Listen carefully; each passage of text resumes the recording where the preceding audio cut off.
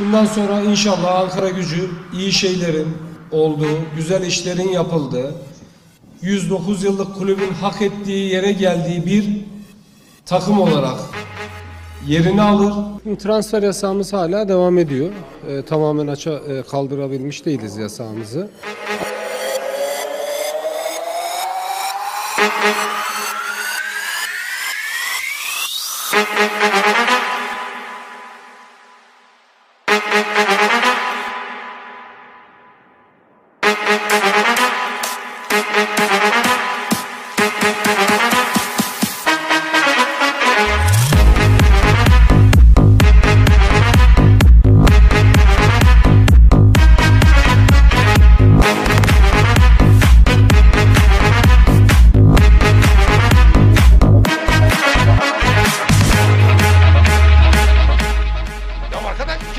Geçecek Ankara'ya. Kime ya?